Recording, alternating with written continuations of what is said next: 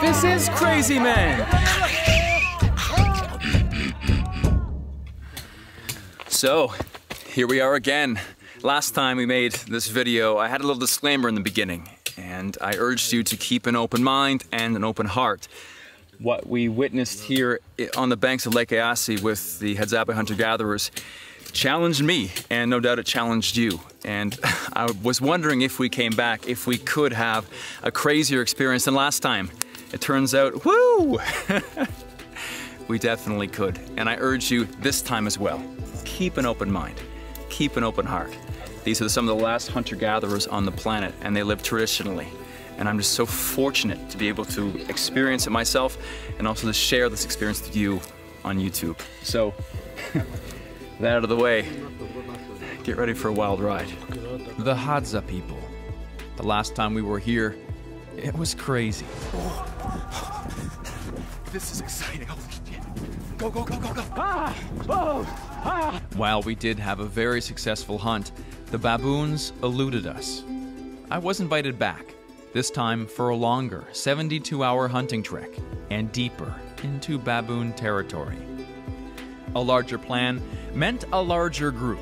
Sokolo, the tribe's leader, joined us again, along with Cha'aba, No No No, Shakua, and Mandola. They brought some fresh faces Tata, Sapo, Godanya, Mayoya, Babua, and Tetu. Our local guide Yusuf is back too. He grew up here, and he's our key to being able to communicate with the Hadzabe. And my man Gumbo from Experiential Travel Africa, who organized this trip. As for me, they call me Coco, which means friend. Good morning, guys. Ah, ugali. Ugali for breakfast. I'll take some.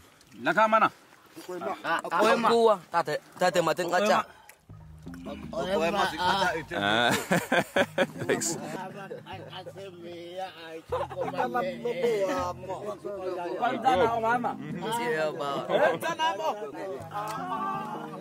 Oh no no, it's good to see you, man.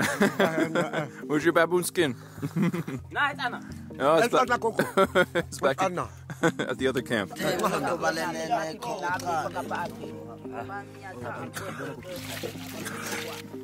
After breakfast, we suit up and get ready. First, though, water.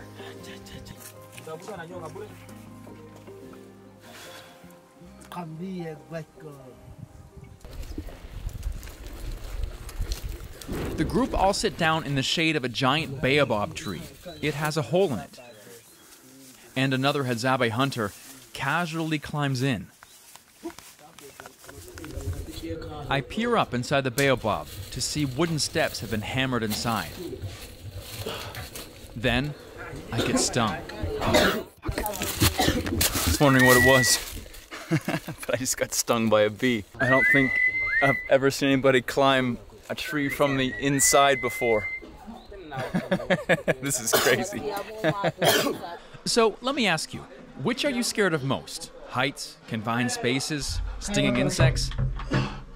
Because this has all three. Is that him getting stung? Uh, is that him getting stung by bees? Yeah, Yeah, it is. oh yeah. Oh, look at the bees. two, Munde, Tabasho, It's like a coffin full of bees. Yeah. No thanks.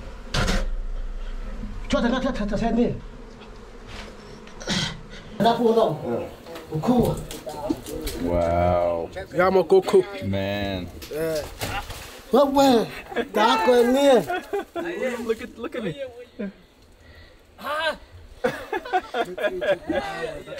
Let me take this back.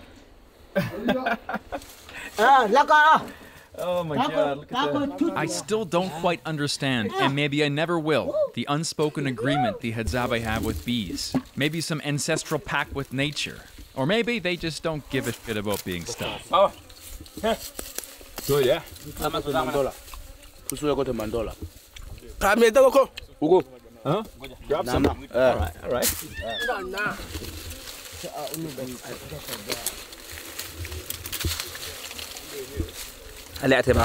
Look at that. Look at the color of that honey. It is like the deepest golden yellow I've seen in my entire life. It's like it's like topaz. Mm. Oh, it's good, man. Mm-mm. Mm-mm. There is nothing else like this honey in the plant. I could put this into an IV and mainline it. It's so good I'm eating the wax.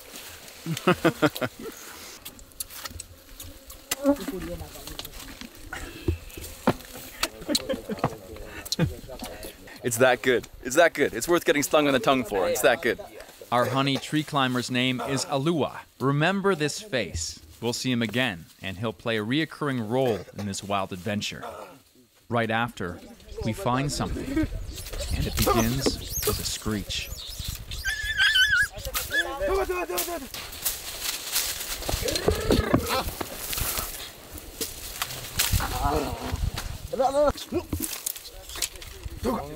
It's a family of mongoose, mongooses, or whatever they're called.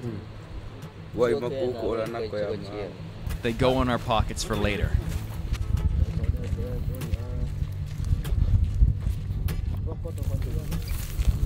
As we're sprinting through the bush trying to catch animals, weaving in and out of each other and dogs and everything, the poison arrows are like stuck in my mind that one little nick on any of those that they're holding is like the the, the magic wand of death. My heart will stop. So I'm trying to keep a little bit of space, but they're being really careful with them, which is probably a good thing because they kill you. That's the whole point.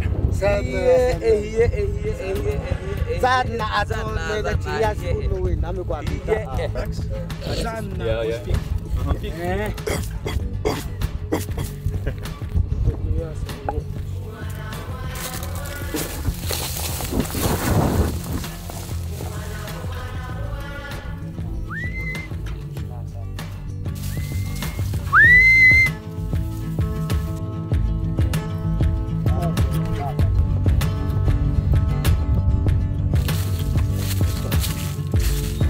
Every 20 minutes or so, we stop and we listen. Sokolo finds the fresh dung of a large antelope called an eland.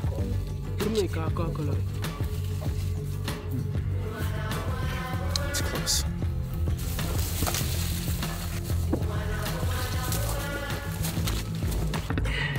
This is the most dangerous thing in the ah, woods. These things. Yeah, that's that's the track. That's this way. All right, all right. Came this way. Oh, I'm getting excited. Oh, my shirt is getting destroyed. oh, shit. Worth it though. Worth it though. Gonna have some new scars for sure, but scars are always good stories, right? Let's go. It's uh, it's huge. It sees us though. It's starting to run, and it's on the other side of the ravine. So, oh, these jungle thorns. Oh my god. I feel so awkward and slow. It's a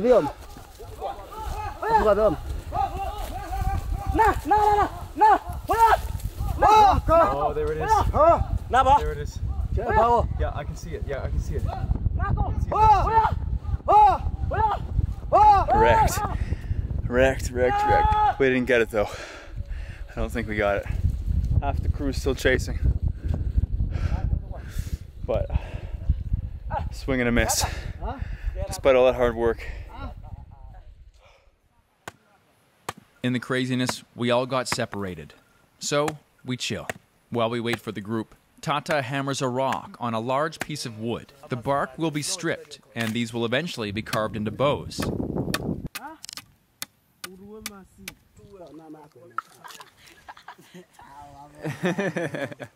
What's going on? Yeah, good.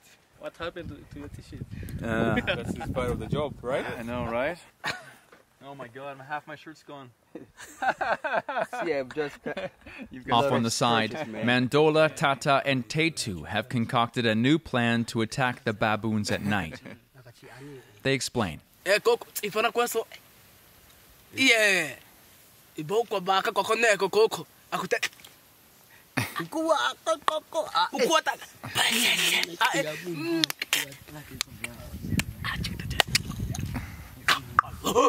iya koko so uko so mungu so zia saka koko na na saka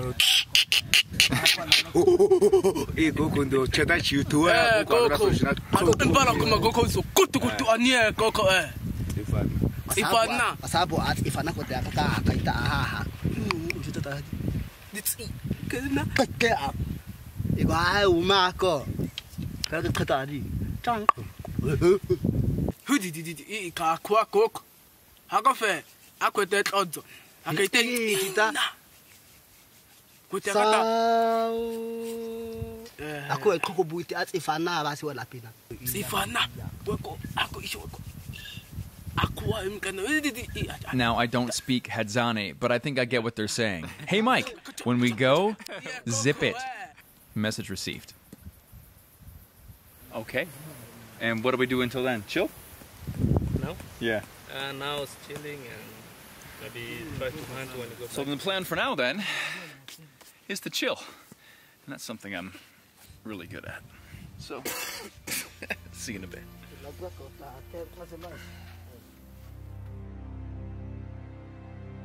We missed the eland, but with wood, honey, and mongoose in our pockets, we trek back to camp. On the way, we encounter a member of the Datoga tribe grazing his cattle. This is what Sokolo speaks about during my interview with him later. It's one of the biggest threats to the Hadzabe. Their land is being encroached on from all sides by other tribes who graze animals, making all the wild ones flee.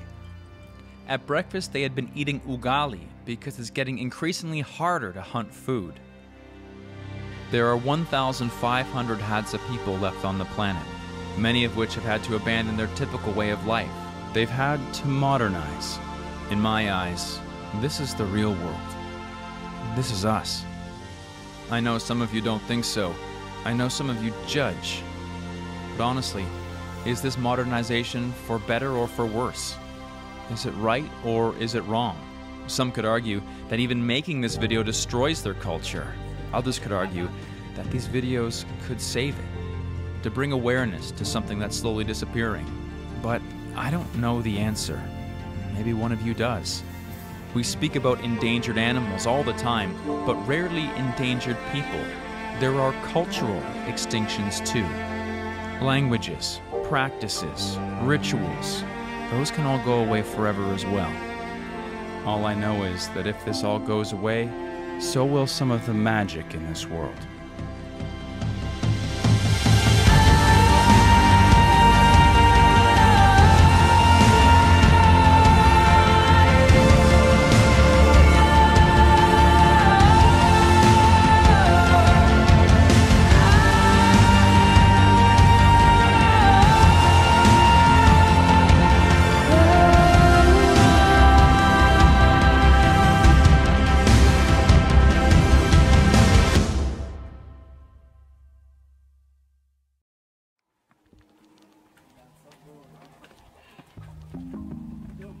Once back at the camp, I do that interview I spoke about.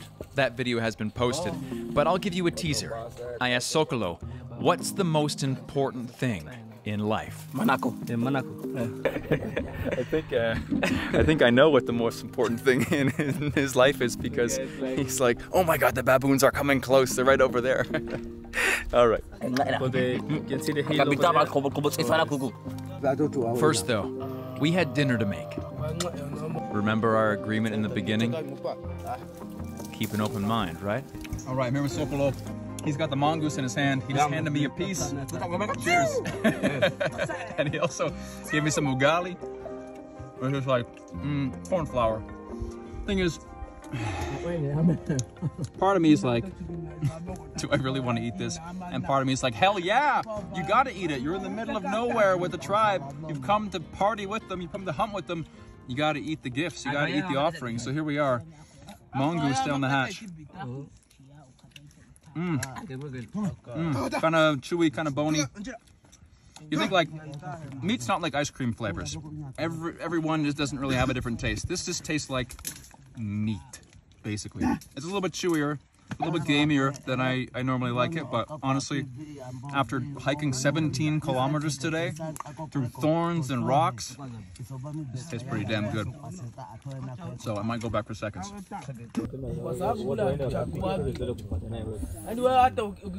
What are they saying, Gumbo? Hmm? What are they saying? Well, actually, it's, it's the. I mean, it's evening now, so they are kind of trying to um, plan for the attack of the baboon. So they normally don't go with dogs, and uh, they will need uh, like a few people, and they are going to have like a stealth movement. So they don't need noise, and actually, um, they don't need like um, people who like got fear. So only warrior from the remaining group they have to go. So they're kind of selecting people who will be going. I, however, was not selected as a warrior. So let me get this straight. They were saying I couldn't go because they are going with no light. Yes, Wha- a big point. And also no shoes. Uh, shoes you can have, but uh, you have to walk gently. Gently, but they're taking their shoes off because of the Uh, sound. Yeah. Okay. They, they're scared about the sound. so. I mean, obviously, I'm already f- I'm filled with puncture wounds from from the thorns today. My shirt's half torn off my body. Do you think so we could? The question is, can you walk without light? I will try. And if it's too much, then I'll turn around. But I, I would love to try if it's possible. And if I have to, if I have to take off my shoes, dude, I've been training my entire life for this moment. I haven't worn shoes since I was like six years old. I love going barefoot. So if there was one moment to test my ultimate hobbit feet, this is the moment. Um, and I promise I won't scare the baboons away. Okay. I'll try. Then I'd love to join. Uh-huh. Okay, that's good. Okay. That's good. Can we ask? Sokolo. They said yes. So, with a belly full of mongoose and killer bee honey, I set off with a Hadzabe tribe to raid a baboon camp at night. Wish me luck. Good luck, man. Thank you. Thank I'm coming soon. Are you coming too? Yeah, yeah. Okay. Yeah. What Yusuf explains is that there'll be two groups. Both will sneak up. One will make a distraction, while the other attacks from the other side. Along the way, we find a fire. It's Alua. He wants to join. And he's got some ammunition for us, too.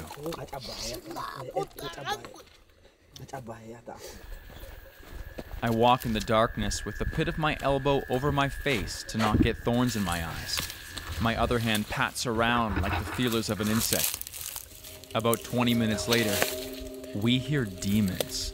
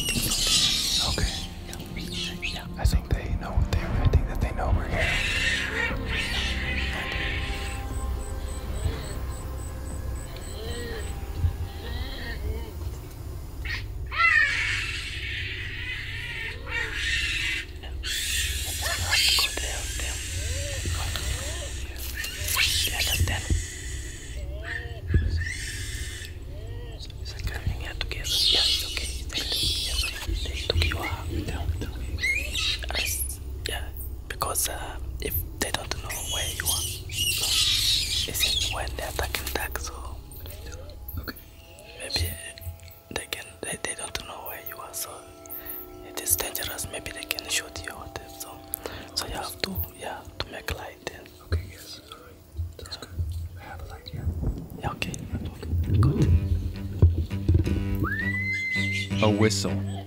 The other group is in position. It's the signal.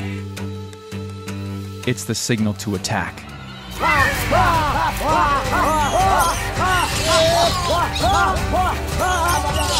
Ah!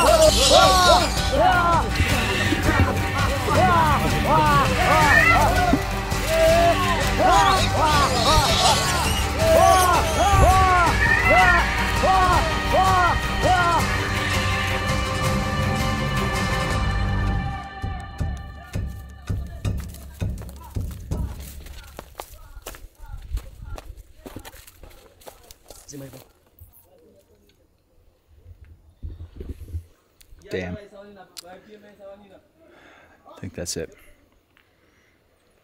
They climbed down the side of the cliff. Pretty smart. Huh? Yeah, they got one. Holy shit.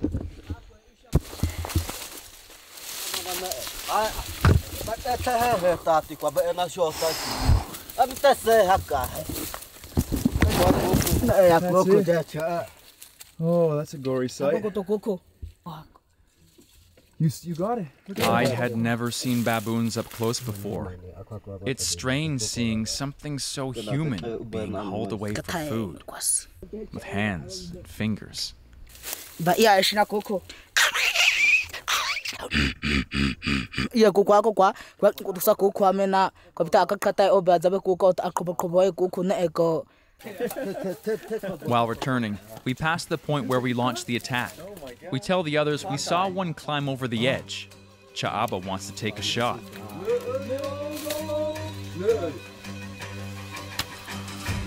Oh my god, he got it!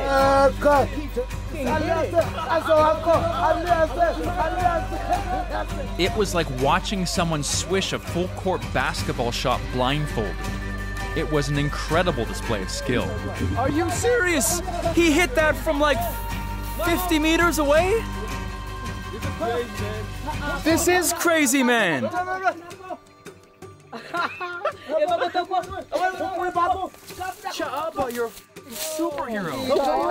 Anan bawa.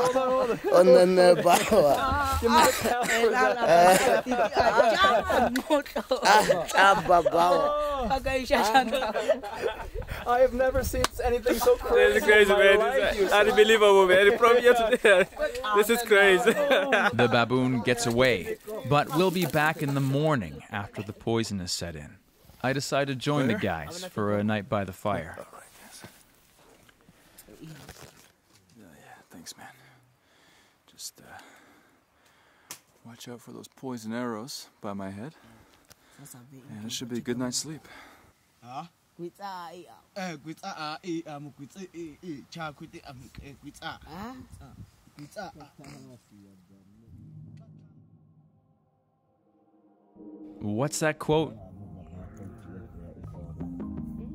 You don't tell stories about the nights you got lots of sleep? Yeah, it was one of those nights.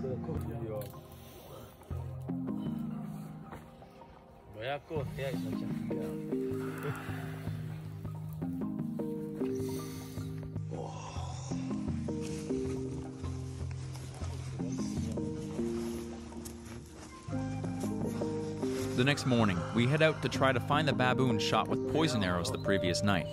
The dogs come with us, and this time, I'll let them tell the story.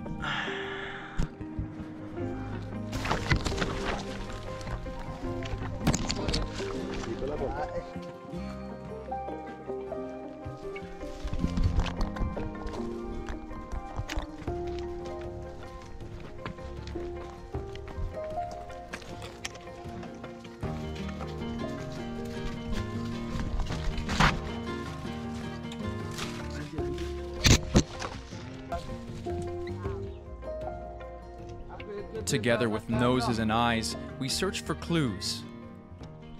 There's blood. Look at this. Oh, and the pool. So that's from last night. Watch my step here. Yeah. Oh, yeah, there is. There's little flecks of blood, that's right. So we found the arrow from last night, yeah? Eh. Baru kata. From, from Jabba. So he he pulled it out. Eh. pulled it out. We're all a bit stumped. We can't find anything.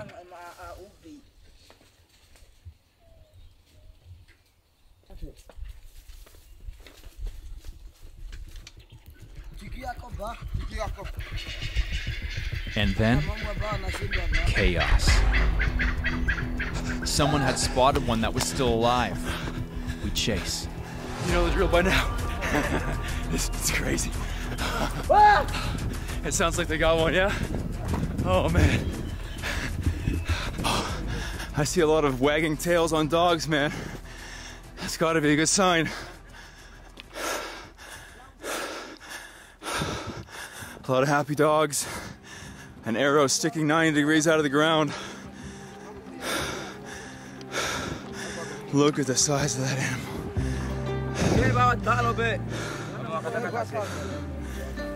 Oh my god, ouch. Yeah. It's a big male, yeah? Oh my god. Took coming back. Took a second try. Joining the guys one more time. We got one. We got more than one. Oh, and it's hard to look at.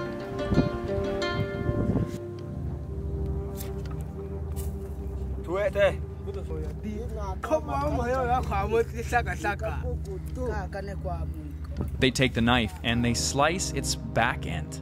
Just cutting to, to look if there is uh, fat. Why? Uh, they really like to uh, to uh, to eat ass. They like to eat- Favorite, Yeah, the favorite was because it's fat. That's their favorite part. Yeah, that's why the man yeah, kill it and first try to cut it to see if there's fat inside the, the ass.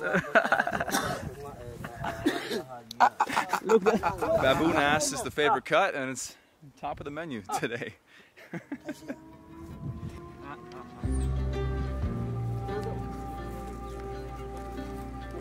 Some of the dogs have serious injuries in the war with baboons. Alua, the honey climber, finds a snail shell and relieves himself inside of it. Then he pours the contents into the wounds of the dogs as a natural antiseptic.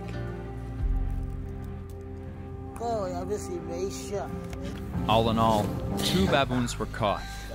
All that hard work will be enough food for a couple days. So we head back to camp for a feast.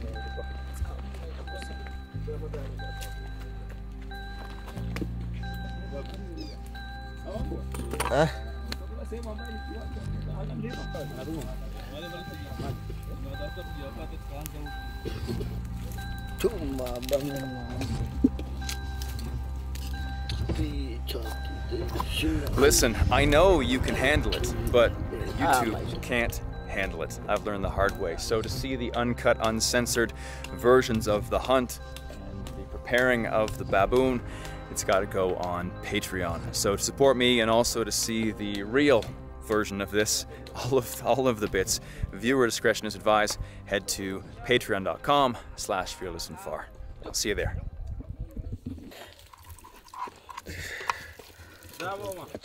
Tema aina me ne babuna kasako. Oh no, man, don't. Ah, yeah, man. nah.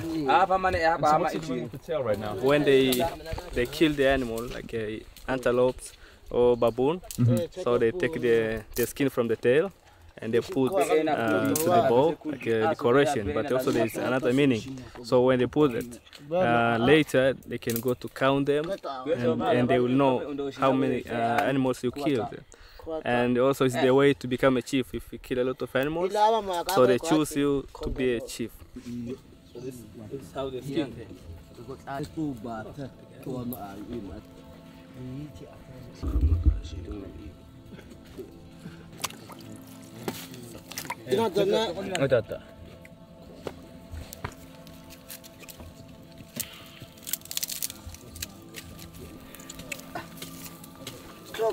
Tukan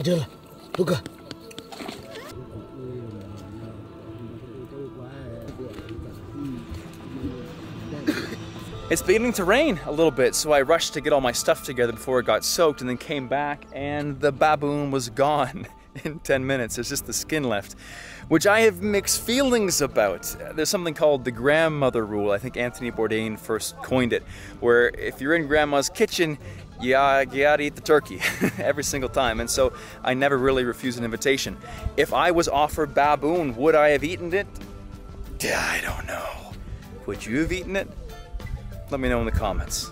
Listen, this trip, uh, it's impossible for me to plan it all myself, so I have some people. You know Gumbo already. Gumbo is my Africa guy. He makes my Africa dreams come true, and he can make yours come true. Pretty much anywhere in Africa, if you're looking for a private trip to do something very cool, he's your man. Gumbo, any last words for the people? Hey, this is Captain Gumbo. Welcome to Africa. Let's go. and remember to check out the uncensored version of this video on Patreon. And guys, thank you. I can't wait to show you more of this big, beautiful world here on Fearless and Far. See ya.